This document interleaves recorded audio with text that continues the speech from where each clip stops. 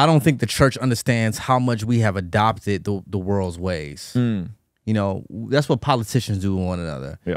Is such and such really conservative? Right. They were they were they were seen with such and such on July Yes. second, nineteen ninety two. Yeah, they've coined that the uh, the death purity spiral. Something isn't perfect, it can't be good. Yeah, yeah. The last thing they say is a is a is a like a pitch for them. Vote for such and Yeah, such, yeah, yeah. not them. And it's kind of like, and so we've done it. You know what I'm saying? Like we've been in pictures with people, especially with people with you know names Mm-hmm. or whatever. And they they might not have the same political views, and so people literally made all our views theirs. They've seen us in a picture. Mm-hmm. Yeah. and it's kind of like, bruh, like.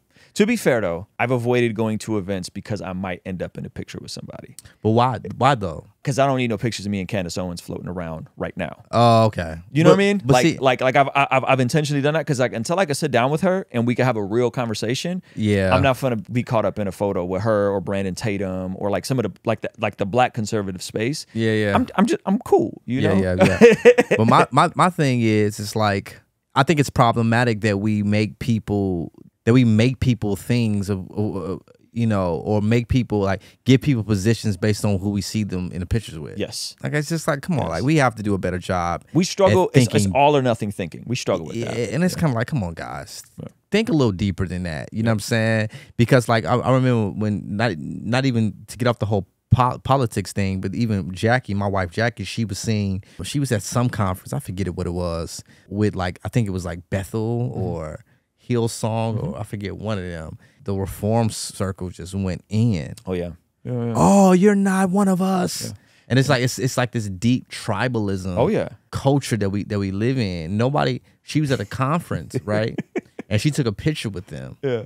And it was so many people on YouTube who basically started to say that she was a false teacher because she's seen uh, Jackie Hill Perry associates with false teachers. Jackie Hill Perry is seen with, you know, her this being her friend. And it's just like, you know what they didn't ask? What did Jackie Hill Perry teach when she was at this conference? Yeah, that's good. That's and that's you know because because because, because listen because it's not about the gospel we try to act like it's about the gospel but we act like politician christians more than real christians that's good. That's we, good. we try to act like it's really about the gospel Yes. nobody cared about nobody i i saw not one comment i saw not one youtuber asking what did she teach Yep. Did her message changed. Yes. no nobody cared about that Right, right. they just cared about who she was in a picture with That's right. That's right. It's like, is this seventh grade or is this the body of Christ? And it just shows you how much we have been conditioned by the world, Mm-hmm. and we just put the we just put the Bible stamp on it, and we think that we're being faithful Christians. It's like, no, you're actually being Pharisees who don't ask Mm-hmm. right. questions. That's right. Check this out. What if the very things that Christian culture often dismisses as worldly actually aren't bad desires? What do I mean by that? It's obvious that the world values things like money, fitness, fame, and immediate gratification. But I like to propose that those natural human desires can actually be redirected with God's words and God's ways of doing things in order to bring glory to Him and serve our neighbor on this side of eternity. And I like to call this very concept God driven ambition. And we'll be unpacking all of this at my very first live podcast in person gathering happening August 26th in Oceanside, California.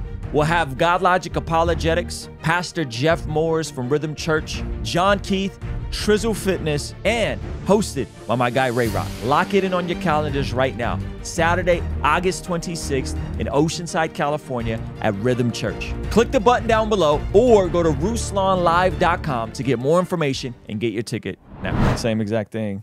Ruslan defends associating with Joel Osteen, Bill Johnson. Bill Johnson's Bethel.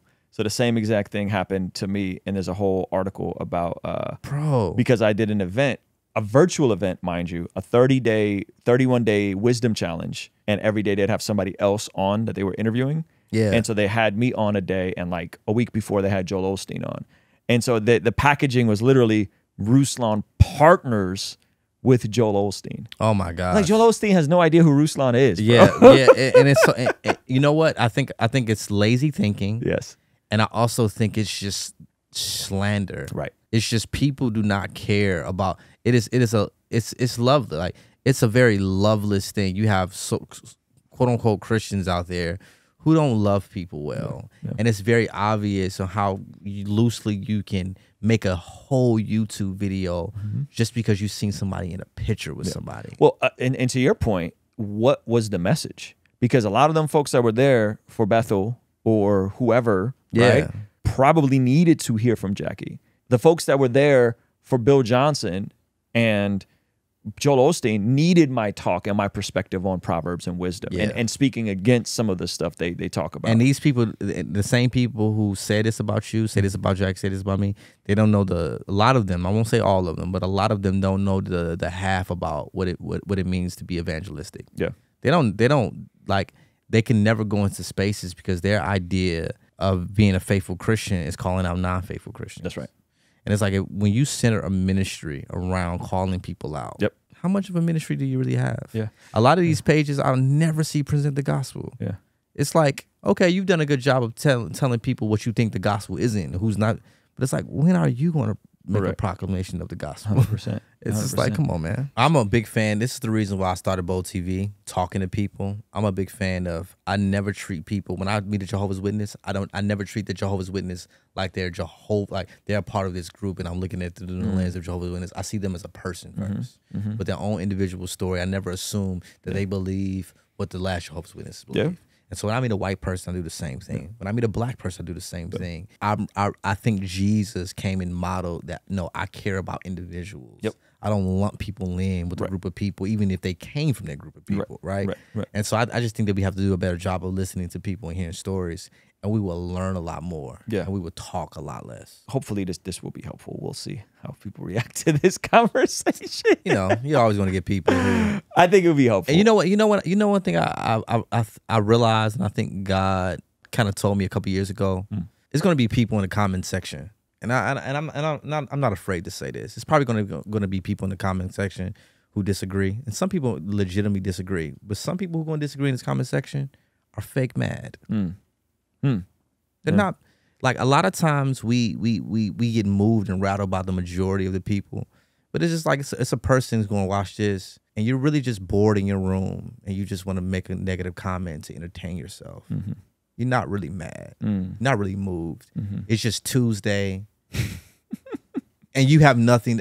You have nothing mm-hmm. to do. Yeah, it's selective outrage. It's a selective outrage, and so for me, you know, I'm gonna, I'm gonna, I'm gonna do ministry. I'm gonna try to be a thought leader the best I can in that because I'm a fallen human being. I'm gonna make mistakes, but I'm never gonna like, as long as I, I, I, I feel like I'm true to the Lord, true to my family, true to mm-hmm. myself, and I try to stick to to Scripture. I'm never gonna like kick myself when I see people mad on the internet mm-hmm. because a lot of it is selective outrage. A lot of it is people not really mad for real, and some people are really mad for real. Yeah. You know what I'm saying? You have to pray about that. You have to pray that God keeps you away from error. Admit, and be humble when you're wrong. Yeah. But at the end of the day, we're human beings having a conversation, and so yeah. I wouldn't sweat it. All right, guys, we're gonna go over to our Patreon exclusive. I got a couple more questions for Per- uh, Preston Perry, specifically uh, when Roe v. Wade got overturned and some of the backlash that he caught uh, or didn't catch. I want to talk about that. So, hey, if you want to see the extended version of this podcast, completely unedited, consider partnering with us in our online community for as little as $5 a month. In exchange, you get access to these podcasts as we stream them live before anyone else gets to see them. You get access to the replay of our daily after party streams, access to our private Discord server, access to discount codes, and so much more. So help us continue contextualizing the gospel through media, podcasting, and YouTube, and partner with us for as little as $5 a month. Also, be sure to follow us on the Spotify podcast app, on Facebook, and on Instagram. We're constantly posting content there that I think you'll find extremely valuable. All right? I'll see you over there. Peace.